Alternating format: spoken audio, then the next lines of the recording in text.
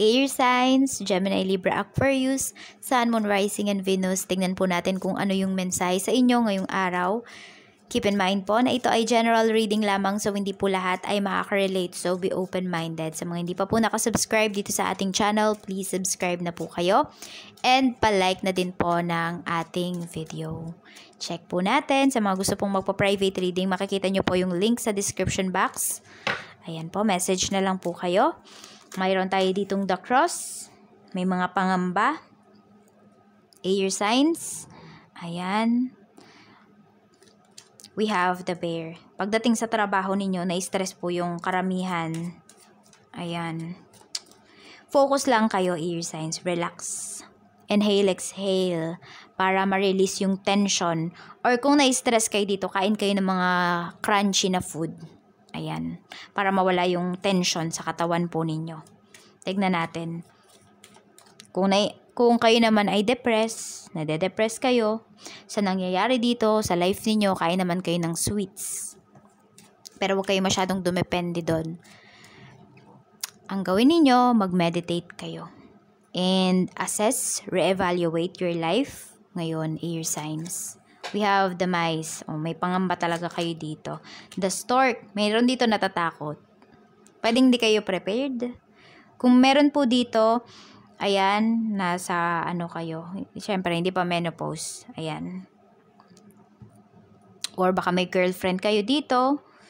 Natatakot yung iba sa inyo na baka nabuntis ninyo. Or baka kayo to, natatakot kayo na baka buntis kayo. Meron naman dito humihiling talaga na magkaroon ng anak. Air signs. Yan. So, mga nakikita nyo ngayon sa mga feeds ninyo, news feeds ninyo, pwedeng about pregnancy. Tignan po natin. We have the birds and we have the ring. Yan. Merong mag-aalok sa'yo dito ng trabaho. Sa malayo, oh. Pwedeng sasama sa'yo or isasama ka. Air signs pagdating sa trabaho. Parang hindi ka iiwan ng taong to. Pwedeng kaibigan mo to. Air signs. Ayan, meron naman dito pinag-uusapan kayo sa ano ba yung mga plans ninyo pagdating dito sa sa trabaho. Yan. Ayan, relax lang kayo ngayong araw na to, air signs. Para po, blessings yung dumating sa inyo dito. Mm, relax. Inhale, exhale, air signs. Ito po yung mga lucky numbers ninyo. We have number 36, 23, 12, 15, 17, and 25. Tignan pa po natin ano pa yung mensahe para sa'yo. Spirit Guide, mensahe pa po natin kay Air Signs ngayong araw. Gemini, Libra, Aquarius, Sun, Moon, Rising, and Venus. Gemini, Libra, Aquarius, Sun, Moon, Rising, and Venus.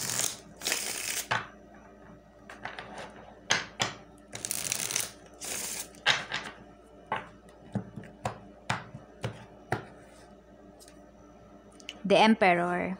Pwedeng boss mo to Seven of Air. Medyo mainit yung ulo ni boss ngayong araw na to. Pagdating sa work, yan, medyo ano muna kayo dito. Wala mo nang chikahan. Pagdating sa trabaho, air signs, focus yung kailangan nyo. Mukhang meron kayong hinahabol. Mm-mm. Ayan no, parang nagmamadali yung boss mo, meron siyang pinapagawa sa inyo agad-agad. At kailangan mabigay nyo yun sa kanya mm, meron din nga dito na stress talaga kayo ngayon sa trabaho. Parang gusto nyo munang umabsent. Meron tayo ditong awakening at mayroon tayo ditong the empress pagdating po sa inyong negosyo. Maganda naman yung energy dito pagdating sa negosyo mo. Air signs. Ayan o. Meron kayong naiisip dito na bagong products or ano pa ba yung may offer ninyo sa market ano pa yung may offer ninyo sa mga clients ninyo? Nakikita ko naman na hands-on kapag dating sa work. Mm-mm. Meron dito parang kapapanganak lang. Ayun, kanina 'di ba meron din tayong nakitang pregnancy dito. So ayan po iba may binat. Ayan. So yun nga baka nga meron dito may postpartum depression. Pwedeng hindi kayo 'yan air signs pa pwede na kung meron po kayong kakilala na kakapanganak lang. Pwedeng kliyente nyo, ayan. So baka meron dito na kliyente ninyo ngayon kapapanganak lang, air signs, tapos kung ano-ano yung mga sinasabi sa sa business ninyo. So pwedeng intindihin nyo na lang, kausapin nyo siguro yung asawa. Mm baka nadadala lang nga kasi, ayan, kayo yung napagbubuntuan na ng ano niya, ng kanyang isipan. O, nung nararamdaman niya. Kaya, ayan, um, maging humble ka pa rin dito. Mm-mm. Medyo stress nga yung iba sa inyo dito ngayon pagdating sa business. Pero la- lumalaban naman talaga. Okay ba yung sales ninyo? Okay yung sales ninyo, ear signs. No need to worry. Meron lang talaga ditong isang client na medyo makakapagpa, makakabigay sa inyo ng stress. Pagdating sa money, meron tayo ditong tree of water. Meron tayo ditong balance. Ayan, nakita ko naman dito, air signs, balance naman yung iyong paggastos, nag enjoy kayo, nag-iipon, ano pa, nabibigay nyo yung mga nabibili, na, ninyo yung mga needs ninyo, yung, yun nga, may mga wants din, at pwedeng meron dito, pinag-uusapan po kayo, or hindi kayo pinag-uusapan, kundi nag-uusap kayo ng mga friends mo. Kung ano ba yung gagawin ninyo, or ano bang, ano bang magandang business ngayon, ano ba yung pwedeng investan, o yan, pwedeng pinag-uusapan, or may pinagpaplanuhan kayo dito. Meron din dito nakikiusap sa'yo. Ayan, parang babayaran din daw niya Monday. Monday yung naririnig ko dito. So, we have Ace of Earth pagdating naman sa iyong love life. So, may opportunity para sa inyo dito pagdating sa love life. Nasa sa inyo yan, air signs, kung tatanggapin ninyo yung offer na ito sa inyo or hindi. We have Eight of Earth. Uh, wina-work out yung relationship. May, may gustong makipag-ayos sa'yo dito ngayon, air signs. Ayan. Pero meron din naman dito, nagfo-focus lang sa kaperahan. Nagfo-focus kayo. Yung attention ninyo nasa, ano nyo lang, nasa trabaho. Yan. Ayan po, mag-ingat kayo kasi, syempre, yung focus ninyo, kung meron talaga kayong karelasyon, meron kayong asawa, ang focus ninyo sa trabaho. Mm, nawawala na kayo ng time sa kanila. So, maglaan din kayo ng time. Ayun nga, balansehin nyo talaga dito, air signs. Ayan, madami kayong roles air signs eh. Hindi lang negosyante, hindi lang nagtatrabaho, hindi lang magulang. Marami pang iba. So, balansihin nyo po yan. Alagaan nyo din yung sarili ninyo dito. Para naman po, mapag-focusan nyo talaga or ma-prioritize ninyo yung mga bagay-bagay sa life ninyo. Tignan po natin ano pa yung mensahe para sa'yo. Spirit guide, mensahe po natin for air signs. Mensahe po natin for air signs spirit guide. Purse wallet. Hmm, may marireceive kayo na blessings talaga dito. Ang mga usapan talaga ninyo ngayon, pwedeng ng mga kaibigan mo, air signs, ay about sa money. About sa pag-unlad.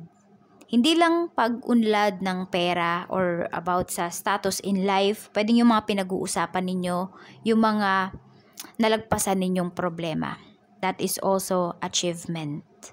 Hindi ba? Kasi mas naging stronger kayo. Yung growth, pwedeng spiritual growth, emotional growth, ano pa, intellectual growth. Yan yung mga pinag-uusapan ninyo. So, mas nagiging wide or yung, yung mas lumalalim, mas lumalawak yung mga pangunawa ninyo. Ayan, minsan na nga lang yung iba sa inyo magkita, pero naiintindihan nyo yon because syempre may mga iba't iba na kayong priorities in life. So, pursue your true wealth. Pursue your true self. Pursue your life purpose. Ayan, marami sa inyo, alam nyo naman eh, kung ano yung life purpose ninyo. Natatakot lang kayo na sundin. So, air signs, you will receive money. Pwede rin po ngayong araw na ito. So, blessings are showering your life. God and the universe is blessings is giving you blessings. Embrace, receive, and share it with others, air signs. Mas lalo ka pang ibe-bless ni universe. Maraming maraming salamat po sa walang sawang pagsuporta ninyo dito sa aking channel. Mag-iingat kayo always and more blessings to come. Bye-bye!